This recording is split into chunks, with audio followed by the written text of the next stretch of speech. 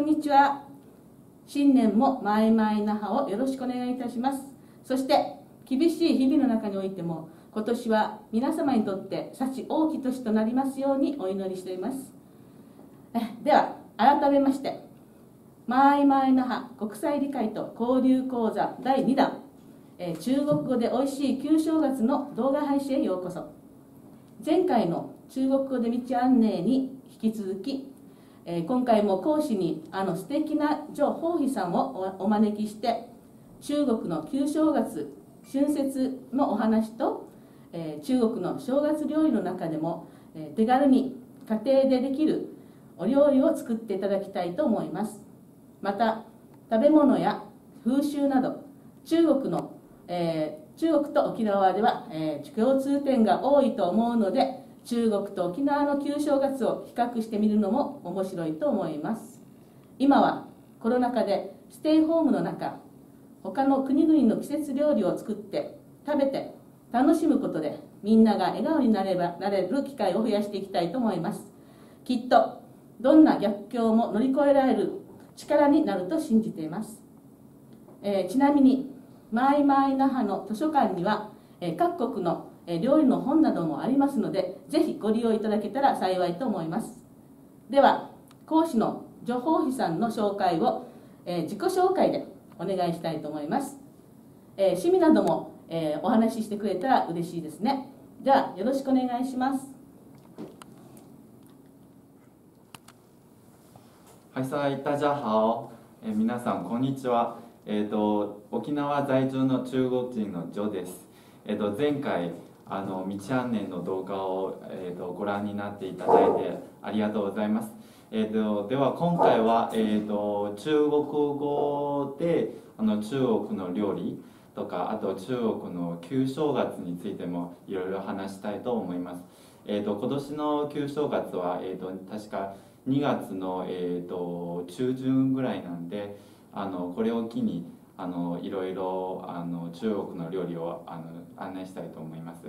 えっ、ー、とまあ今コロナ禍でみんな外食とか制限されてると思いますが、え、ー、と手軽くにえ、ー、と作れてあの食べれる料理をえっ、と皆さんに紹介できたらあのいいなって思ってます。えっ、とそれではよろしくお願いします。中国はさまざまな文化があり、えーと、それぞれの地域に適している食べ物や風習なども違います、えーとまあ、言葉以外に、えーと、食べ物とかもいろん、えー、結構多様性があると思います、えー、と一般的に漢民族の中では大晦日の夜に12品の料理を食べる習慣があると言われています、えー、とおせちのことを中国語では年夜飯と言います。12品の料理の中に、えー、と4つは冷やし料理で8つはあの温料理温かい料理であります、えーと、冷やし料理は家庭それぞれの好みによって決まりがなくあの前菜の役割を果たしています。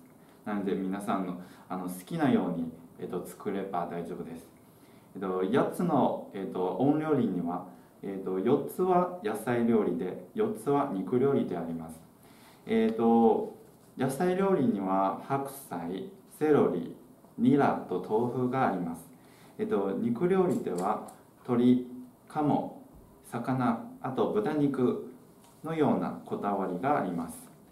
えっ、ー、とまあいわば12の場合の料理です。ではなぜこのようなこだわりがあるんでしょうか？えーとそれはえーと、まず鳥の中国語は「じ」って言います、えーと、気象の「じ」「よし」の発音と似ているのであのいい良い年を意味します。カモは、えーと、いつも泳いでるのでカモが泳げる時と思うと川や池が凍っていない時期を連想するので春が来たをつけることになります。中国の有名な漢詩「春江水暖鸭先知」があります。この漢詩の意味は春になると川の水が暖かくなると,、えーと、カモが誰よりも先にしている。なので鴨を食べると春が来たよっていう意味です。で魚は「ゆ」って発音するのであの皆さんご存知のように沖縄でも魚のことを「ゆ」って呼びますね。えっとなので中国語の中では、えっと、魚と余裕の「よ」あまりという漢字の発音と一緒であの毎年年々あの余っている年々余裕あ余裕毎年に余裕があることを意味してます。えっとあと豚ですけどあの昔家の家に家畜があるのはあの、ね、今のように大量生産できないできなかった時代なんであの家畜がその家庭の豊かさの象徴で1年をかけて飼育した豚などはお正月やお祝いごとに欠かせないものだった、えーと、福有の意味です。ではその次なぜ4つの野菜もあのこだわりがあるか説明します、えっと、野菜のことを中国語の中では、えっと、菜菜あのと言います、えっと、財産の財才能の才と発音が似ているので縁起がいいと思われています。お正月に欠かせないものだと見られています。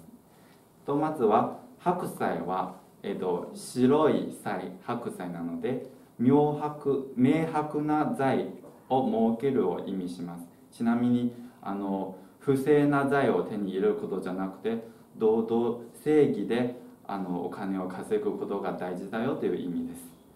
次はセロリです。セロリの漢字は、えっと、草の辺草の頭に下に金がついててあの中国の中では勤勉の金と同じ発音なので勤勉にお金を稼ぐっていう意味です。ニラの発音は久し。と書いてあの中国では上と呼びます。永久に継続的に儲かるを意味します。豆腐のふはトムというふまたは服のふの発音は中国の中では一緒なので豊かで幸せになるという意味です。それでは、えーと、今日は、えーと、家庭でも簡単に作れる野菜の2品を紹介したいと思います。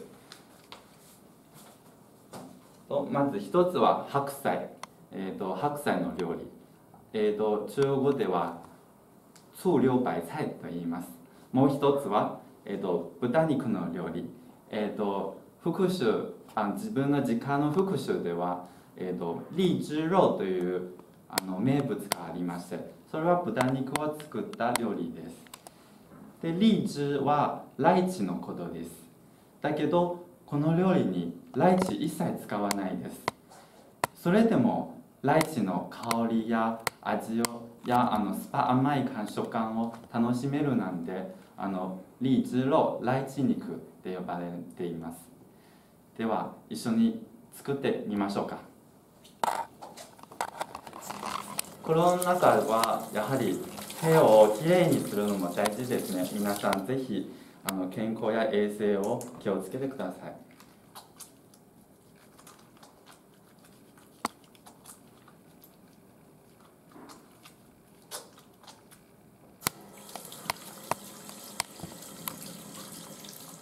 まずは白菜を洗いましょう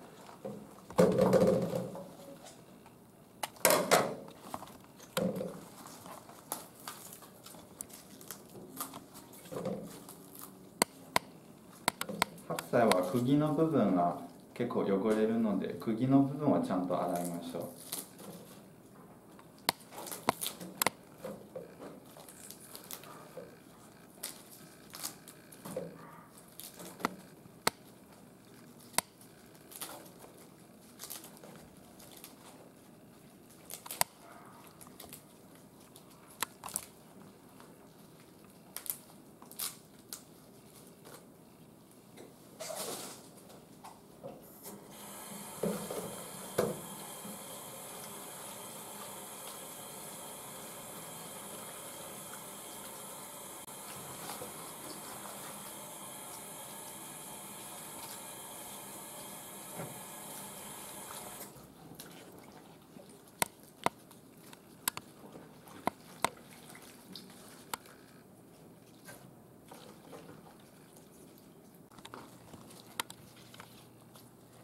白菜を切るとき釘と葉っぱの部分を分け,、分けて切りましょう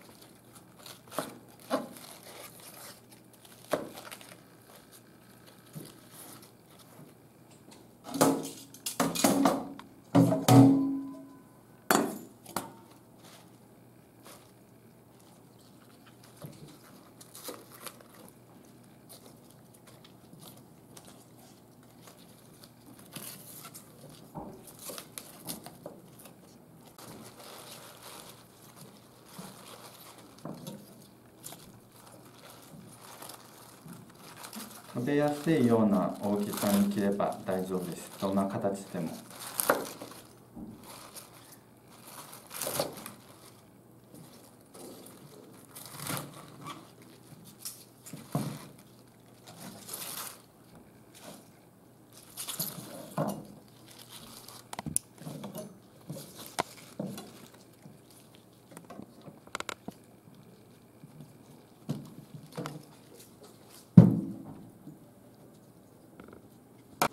次は白菜の釘ですけど。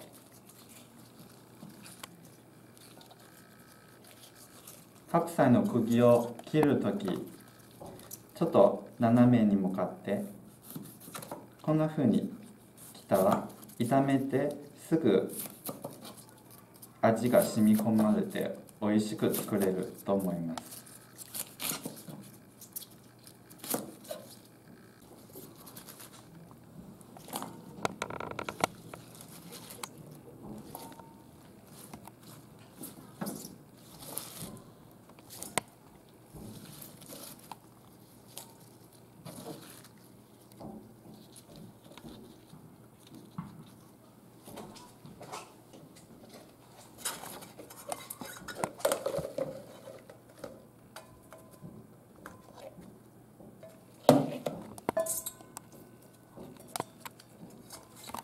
白菜の水気を取れるようにしばらく置いときましょう。次は白菜のタレを、えっと、作ります。えっとまずお醤油とお酢であと塩砂糖と芋くずで。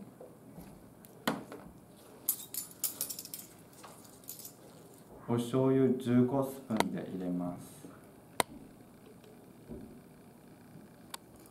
手が触れる。15スプーン2回で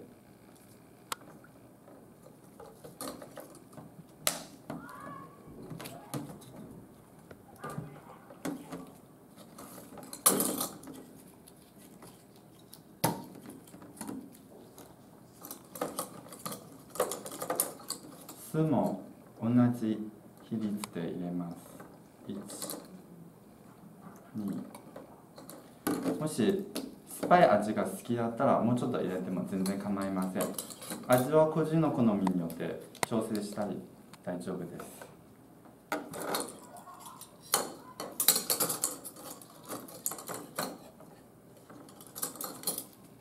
す。でお砂糖も個人の甘さによって適量に入れて大丈夫です。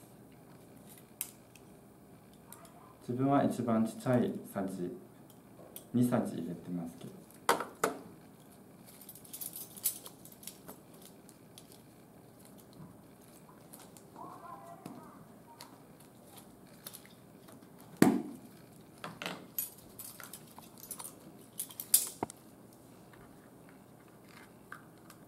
醤油があるので塩ちょっとだけで大丈夫です。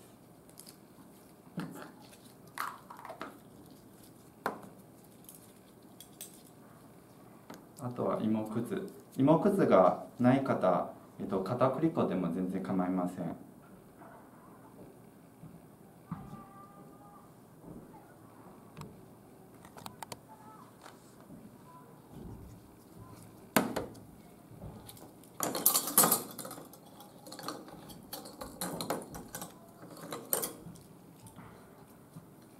ちょっと混ぜま混ぜます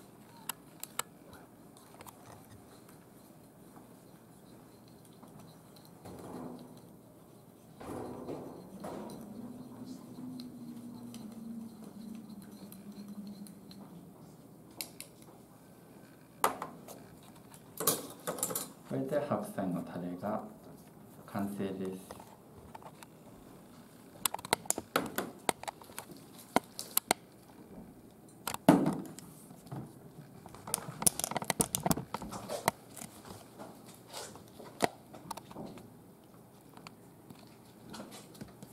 次は、えーと、福州の名物のリーズローを準備しましょう。リーズローを作る時えっ、ー、とライチ使わないですけれども具合黒具合というものが使われています。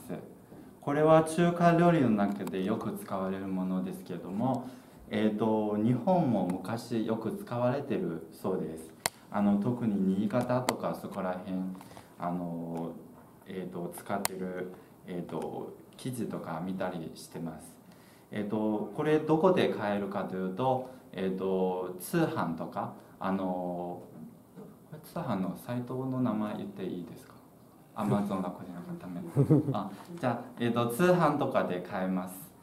えっ、ー、とあと,、えーと、お住まいの、えーと、ところにお住まいの地域に、えーと、中華物産屋さんがあればそこにもそこにも売ってると思います。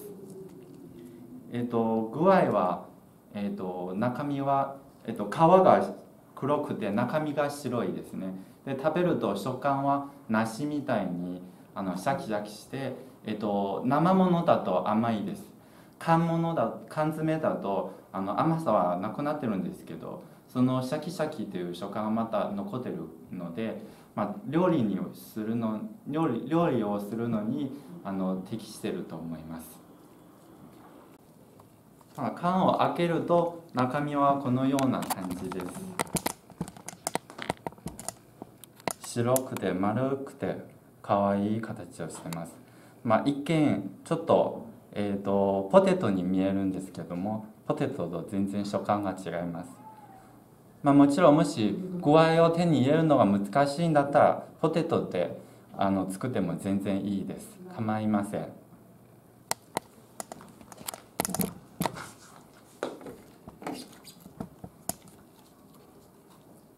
では肉を洗いましょう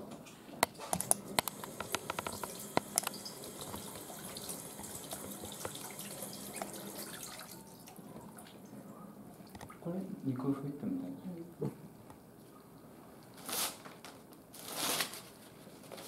水分はちゃんと取るようにキッチンペーパーで取りましょう。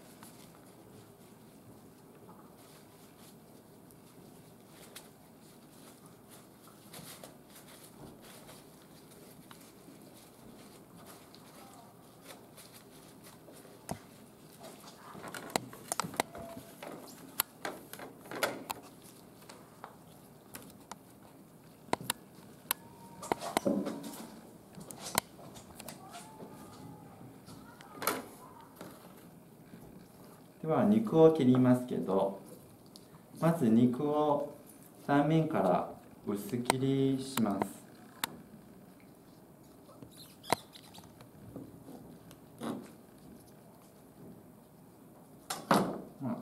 これくらいの感じで構いません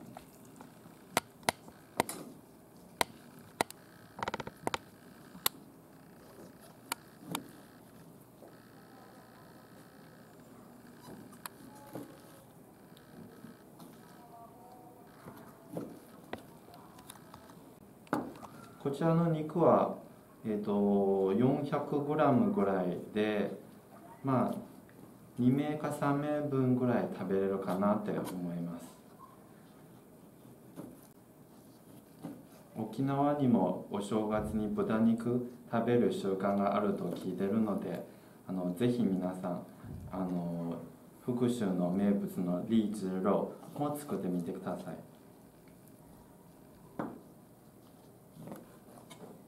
リーチローは一応、えーと、酢豚と似てる感じですけどあのちょっと,、えーと、また形とか味は微妙に違います。では次はリーズローと一般の酢豚の違いが分かるところです。薄切りした肉をちょっと切り目を入れるように横縦っていう感じの切り目を入れます。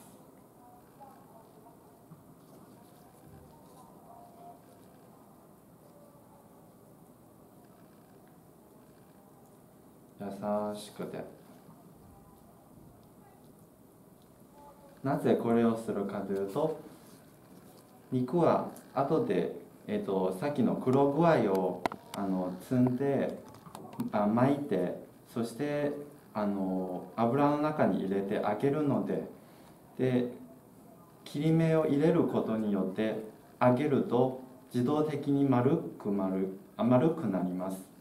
その丸くになった形はちょうどライチの形をしててリーチローということになります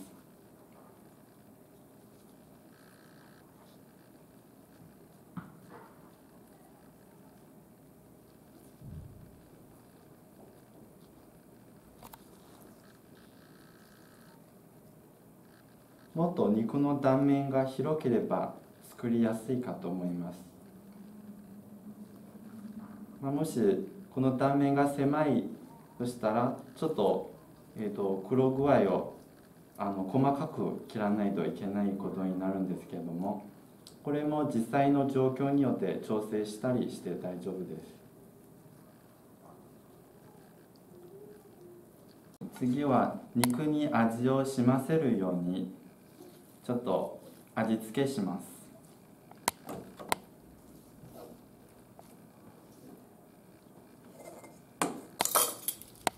お砂糖。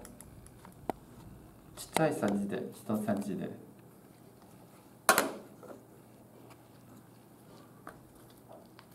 お塩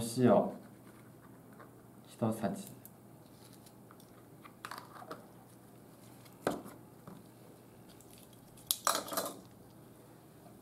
次はオイスターソースをちょっと入れます。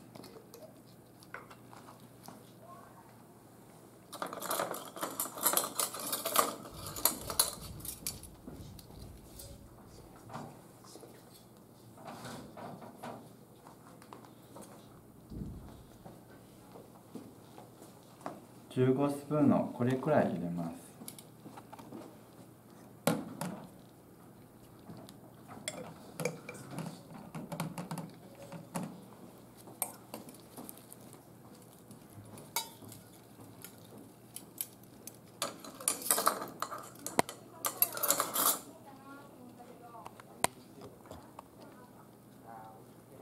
次は白胡椒ホワイトペーパーを入れます。軽く振るだけで大丈夫です。あまり入れすぎると苦みが出るのでちょっと要注意です。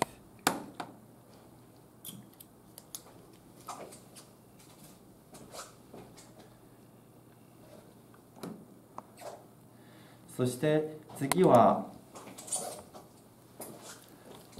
料理酒を入れます。江戸中国では香料酒とかもよく使われててまあえっ、ー、と沖縄だったら泡盛はちょうどいいかなと思います、まあ、もしあのお酒の強い癖が苦手な方だったら一般の料理酒でも全然構いません。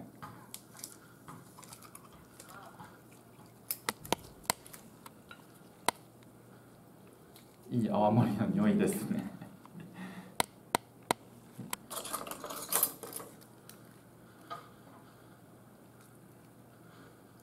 に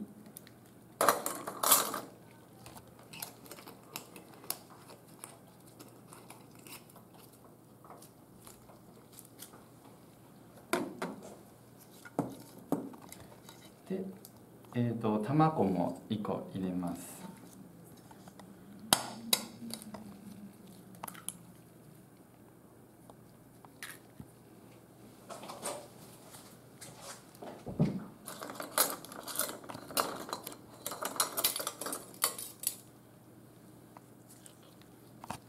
芋くずまたは片栗粉。2さじくらい入れます。手で混ぜましょ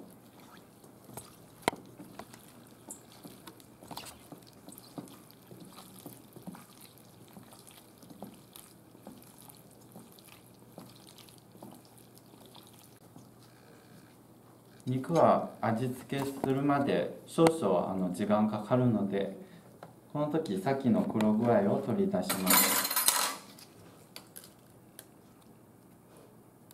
さっきの、えー、と 400g ぐらいの量に対して黒具合は10個くらいで大丈夫です、まあ、もちろんもっといっぱい出しても全然構いません。あのつん、えー、と肉で積んでそれでも余ったらそのまま炒めて食べれます。あと具合の缶詰開けると結構ね一回あの使い切れ一つの料理では使い切れないと思う方もいるかと思いますが、えーと、実際にこの黒具合は、えーと、みじん切りにしておかゆと一緒に作ってもあの美味しいです、えーと、ちょっとね柔らかいおかゆの中にシャキシャキした食感があってとても面白いです。またはあのミンチと一緒にハンバーグについてもとても美味しいです。おすすめです。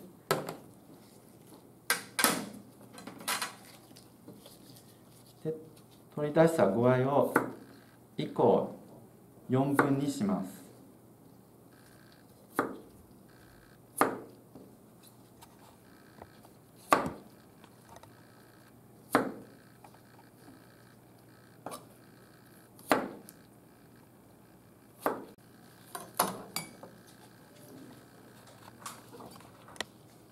た具合も中に入れて一緒に味付けさせましょう。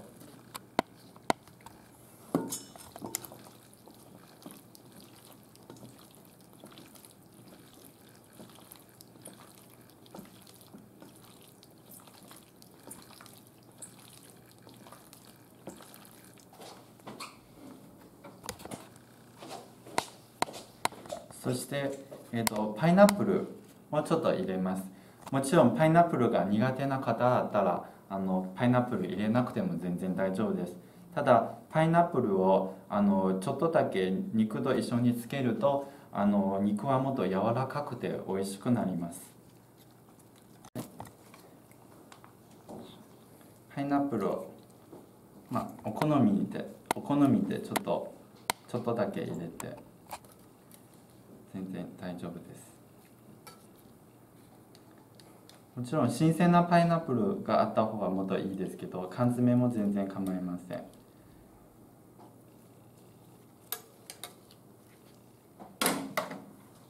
もうちょっと混ぜて。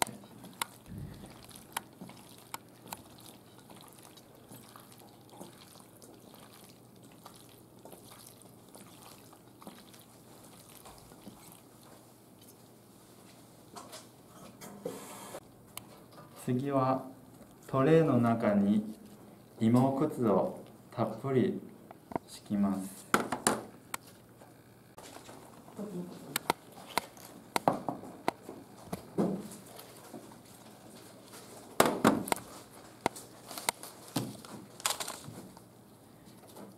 それでは黒具合を肉に積みます。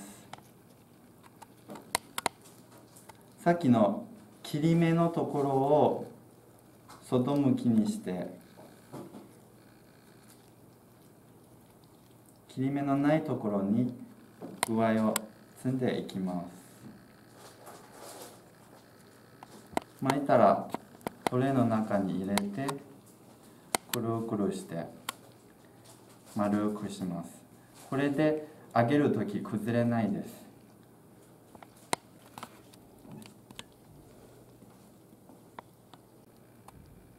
たとええーと、崩しても全然構いませんので好きな形で大丈夫です。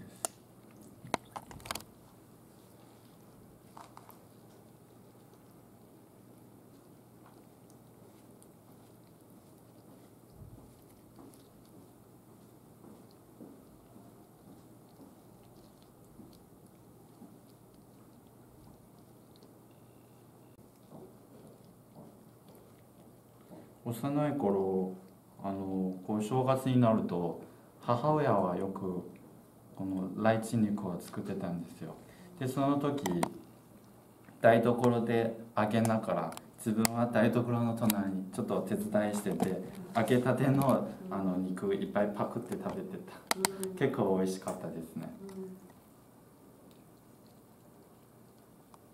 中国の旧正ってだいぶ前から準備するって聞いてます。そうですね。あのまあ料理が、えー、と多いからさっき言ったように12品の料理もあるから、えー、と特に田舎とかになるとあの主婦が作らんといけないからあの母親は大体、えー、と大晦日の前日からずっとあのいろいろ用意しててあの支度してたんですね。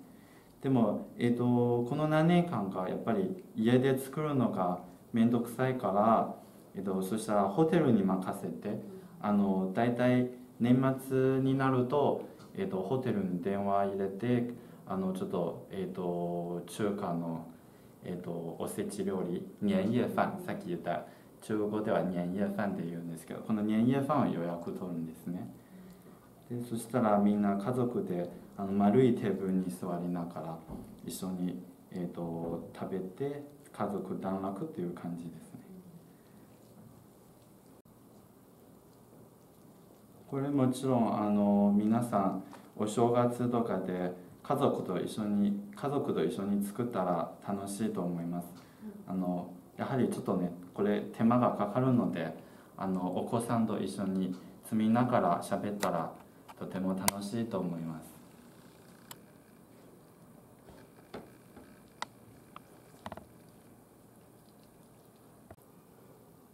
ちょっと肉の切り身が出る時あのちょっと巻きづらいと思うんですけどそしたら2つか3つぐらいの肉を一緒に合わせて積んでも全然大丈夫です。これ具合はあの、ね、あの注文というかネットであの手にしか手に入らないと思うんですけども、うん。えー、とその代わりにポテトを使っていてじゃがいもはい。を使っていいとおっしゃったんですけどこれは生で。あじゃがいもじゃがいもをあ茹でないで生で入れて大丈夫。そうですね。あもし、えー、とじゃがいもを使う場合、えー、ともう中に、えー、と入れないように。あ入れない。そう。あの肉はそのまま何もつまず丸くしてあのちょっとあの、えー、と芋くずであのくるくるするんですけどで、えー、とじゃがいもは油で一回揚げてから一緒に炒めるだけであ。もっとたあの楽に作れるんです別々にそうですね別々に。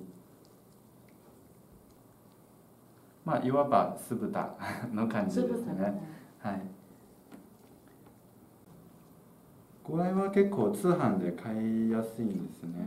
あのこの一缶でも3400円ぐらいかな、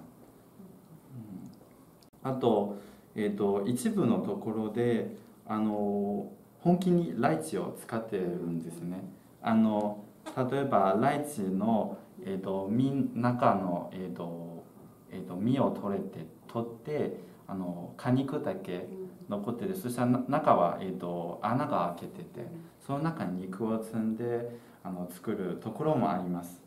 だけどライチはやはりねあの日本で手に入れるのは難しいなんででそもそも中国でもそんなにライチを料理にするのがあの多くないので,、うん、で自分個人的にはやはり、えーライチはとても甘いから、うんとなんか果物感がすごいなんでちょっとそれ料理にするのは抵抗がある人多分あの少なくないかなと思います。で具合は、えー、とそこまでねあの甘くはないからシャキシャキでさあのさっぱりする食感なんであの料理あの野菜としてはあのなんかいい感じですね、うん、そこに結構あの肉の切れが残ってるんですけどこの時も適当にいっぱい 集めてチャーってして大丈夫です。であの食感の楽しみとして具合もうちょっと3か5個ぐらい取り出して、まあ、これも全然お好みによって決まりがありません。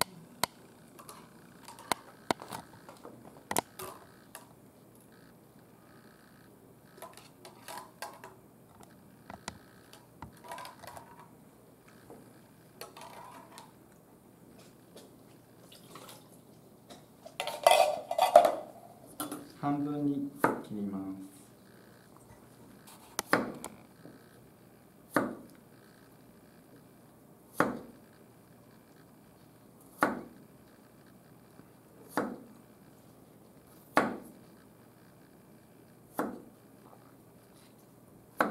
まあ、ポテトって作る時まさにこんな感じであのちっちゃく切ってで一緒に炒めるだけで。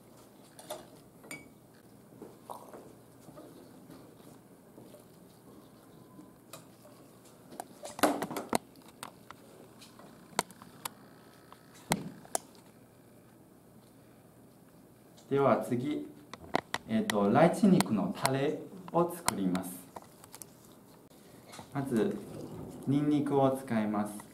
もちろんもし生のニンニクを使う時ニンニクをみじん切りにして、えっと、油を鍋の中に入れてちょっと温めてから入れて炒め炒めるんですけれどもチューブだったらその手間が省けます。そのままタレの一部として使います。でにんにくの量もお好みによってあのちょっと多めに入れると意外にライチに近い風味が出せます。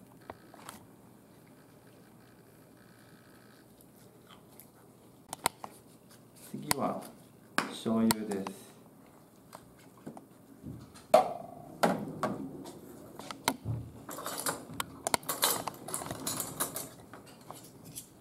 醤油も一さじで大丈夫なんで。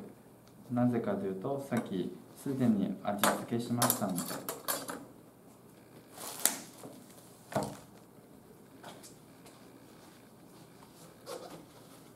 あとケチャップを入れます。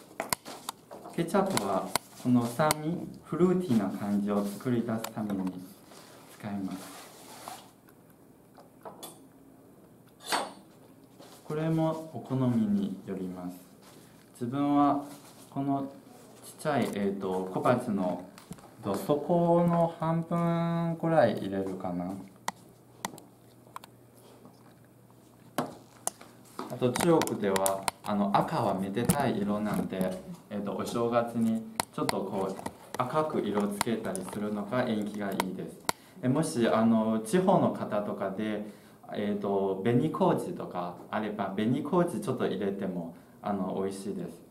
あの自家ではよく紅麹使っててあの色を鮮やかくするために、えーと、やってるんです。あとは、えーと、お砂糖です。福州の料理の、えー、と味の特徴はスパ甘いなんででお砂糖はちょっと多めに入れます。もちろんもし、えーと、糖分ちょっと気になる方だったら少なめに入れても全然構いません。ただその時ですねこの料理に関しては、えーと、酸味と,、えーと、甘みのバランスがとても大事なんでもし砂糖が少なく入れる場合、えー、とお酢もちょっと少なめに入れてください。酢と,、えー、とこのお砂糖の、えー、と比例はだいたい1対1なのであのまあ酸っぱければ酸っぱいほど甘い。なので酸っぱ甘い感じですね。ちょっと多めに入れますね。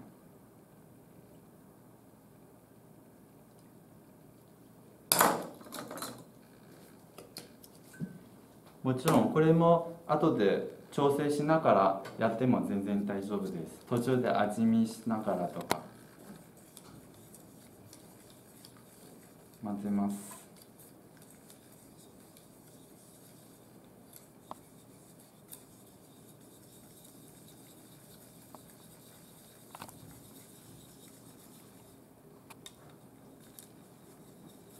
すごくニンニクの香りが効いてます。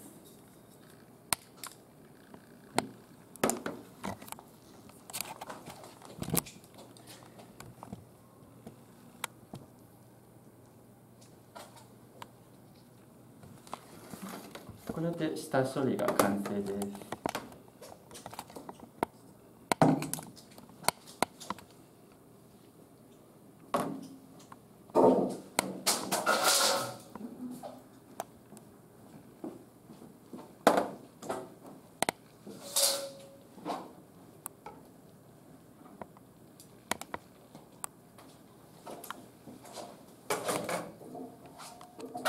そでは調理に入りましょう。まず揚げ物は時間かかるのでえっ、ー、とリーズローの方から先に作りましょう。まずは油を温めます。えっ、ー、ともしあの測り、えーと、温度計があれば、まあ、120度から160度ぐらいは、えーと、いい感じなんですけどでない場合はちょっと油の中の流れ見てみます。例えば今油はちょっと、ま、静かな感じででもうちょっとしたらその油の底がちょっと,、えーと、流れてくるんですね。この流れのスピードはちょっと速くなったら、まあえーと、160度ぐらいいけるいてる感じかなって見て大丈夫です。あまり煙が出るほどするとねあのすぐあの、えーと焦げちゃうので要注意です。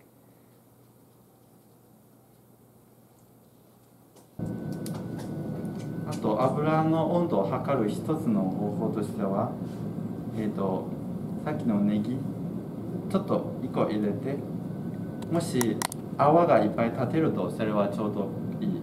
でも今全然立てていないからこの温度はもうちょっとね足りていない。です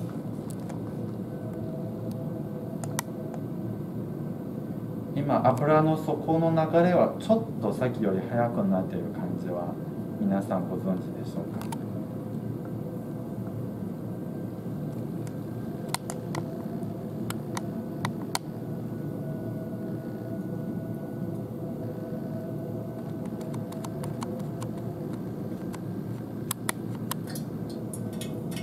今くらいはちょうどいい感じです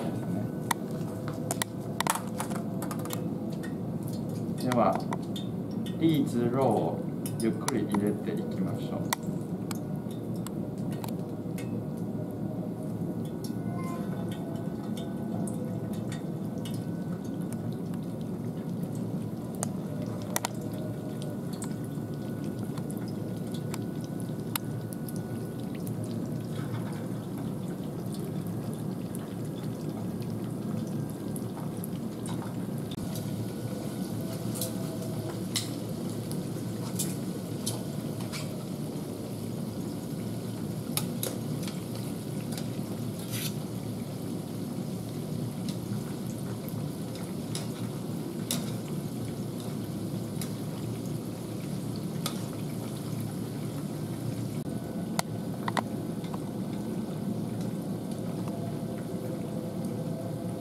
このようにちょっと焦げ目がついたらいい具合です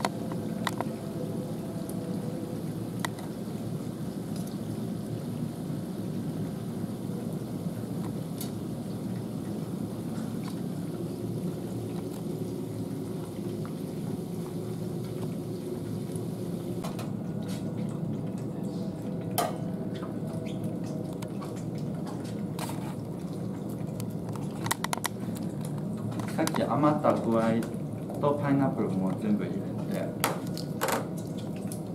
ちょっと油の中に入れてあげます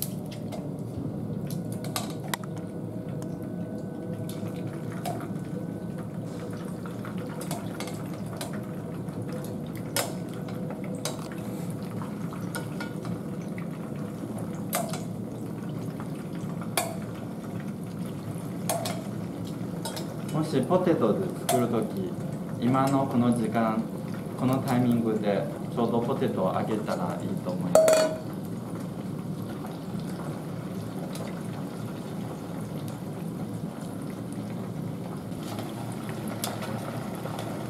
ホワイトパイナップルは生でも食べれるのでちょっとだけ揚げて大丈夫です。軽く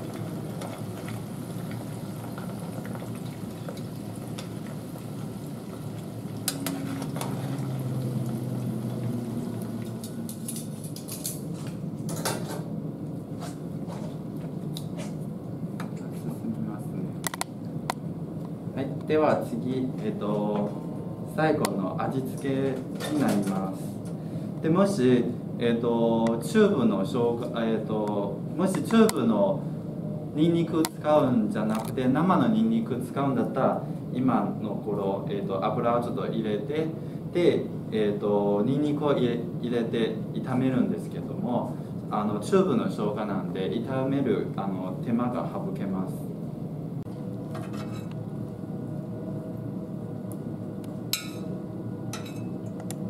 れはちょっとだけ入れて大丈夫です。もし、えーと、この時えっ、ー、とにんにくとか生姜とかもっと欲しいんだったらちょっと入れてやってもいいです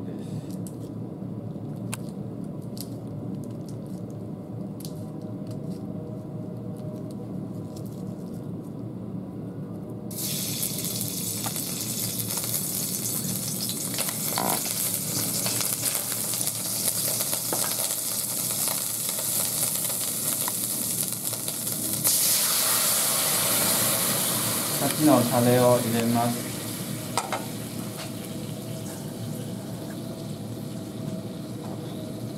水もちょっと入れます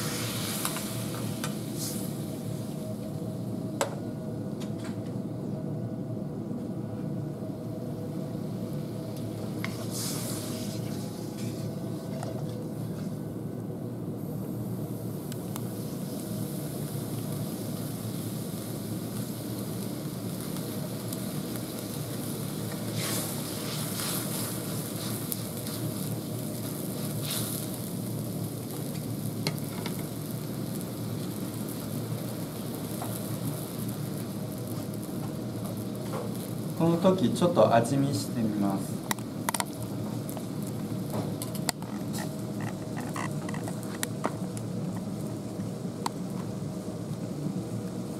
うん酸っぱい。そしたらもうちょっとお砂糖入れた方がいいと思います。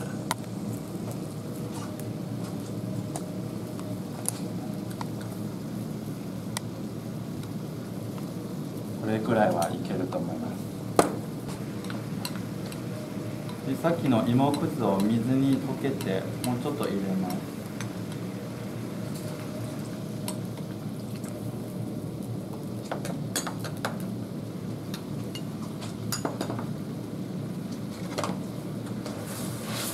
そしたらちょっととろりになってます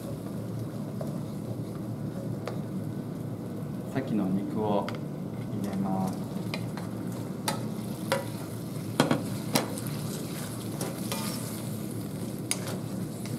ちょっと混ぜます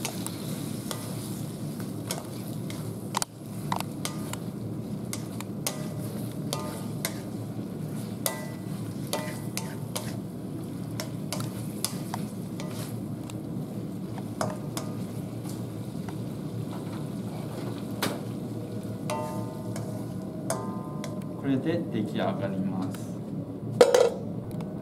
えっ、ー、とせっかくあのお正月の料理なのでちょっとおめでたいという意味なんで特別なあの器を使わせていただきます。こちらの器は、えっと、近くの、えっとゆきえっと、雪陶器さんから、えっと、ご提供いただいた、えっと、器です。あのそちらの、えっと、赤嶺俊之さんの作品です。とても沖縄らしいからってめでたいでしょう。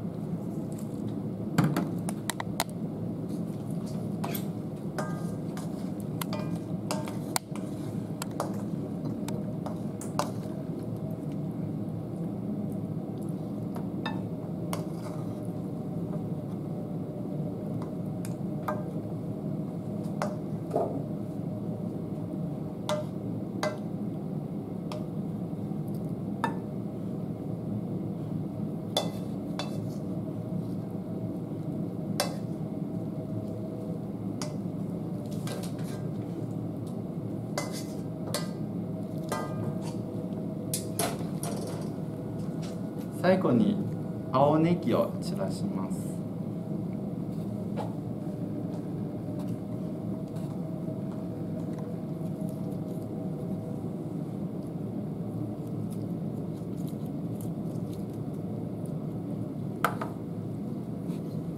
これで出来上がりです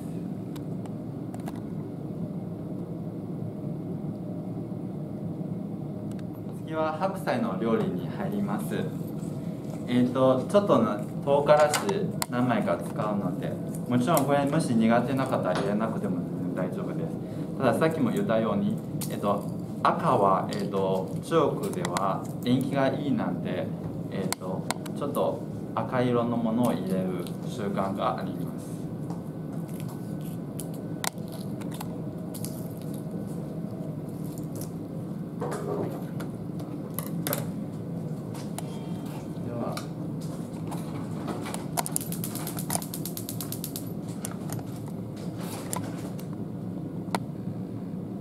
ちょっと火をつけます油を入れます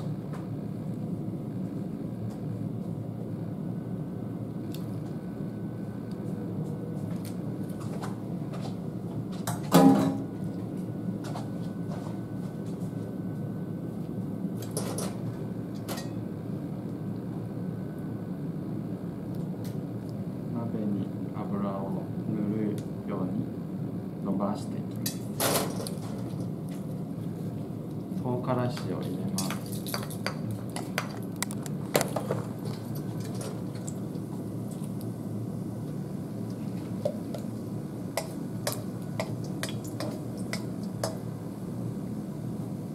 白菜作る時の溶血はひ、えー、と火加減です。この火をずっと強めにしないといけないです。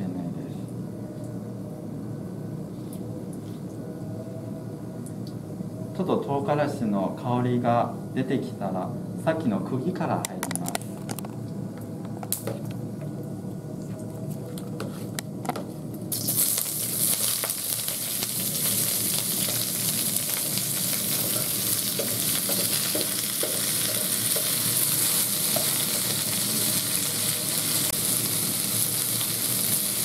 白菜はこの料理は風量白菜というのは風量はお酢を入れてる意味です。ちょっとお塩を入れます。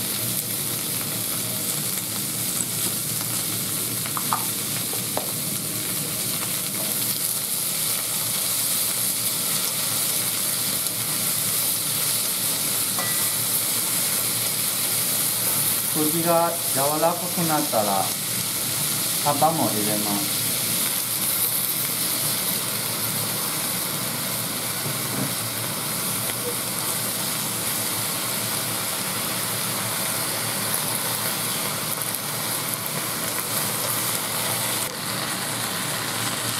そしてさっきのタレを入れます。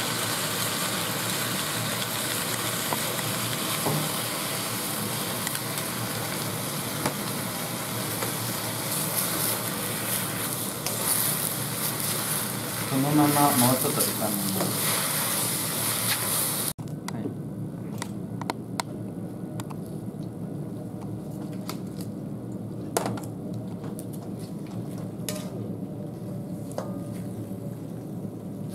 スパミも個人の好みによって調整したりするのが可能です。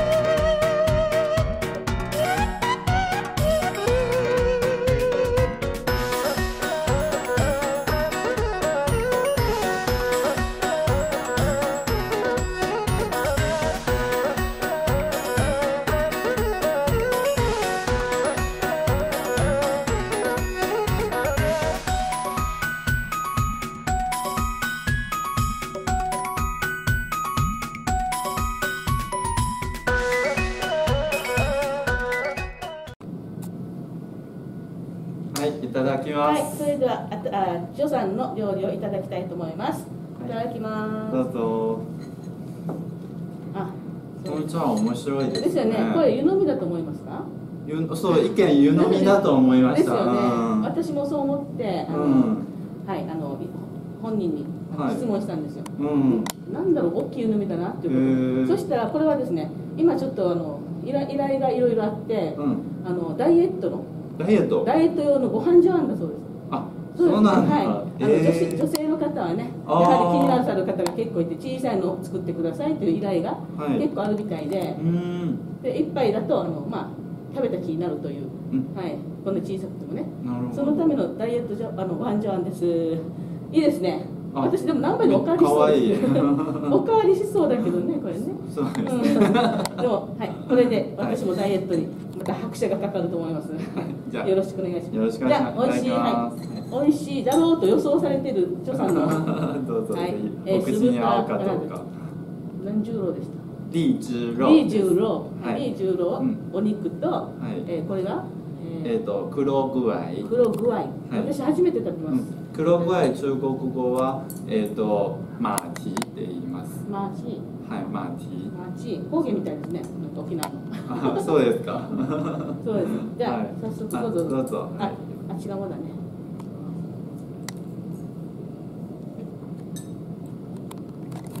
じゃあ、お皿を。はい、頑張れ。じゃあ、お皿ちょっと交代していただいて、はい。はい。じゃあ、いただきます。今自分のお話で取りますよ。あ、ごめんなさい、間違えました。パイナップルはんパイナップルは。大丈夫ですか？あ、あ、そうですね。パイナップルもいただきましょう。どうぞちょっと一つはい、いただきます。では、いただきます。この時に初めて顔を出すんですけど、私も。なんか最近はえマスクになれて恥ずかしいです、そうですねはいなんかあ、すいません、今日は口紅もしてないので、よろしくお願いします。いや大丈夫です、はいチュラカーキでいただきますいただきます。まずは白菜の、何でした。生白菜。数量白菜そうですね、中国難しいですね。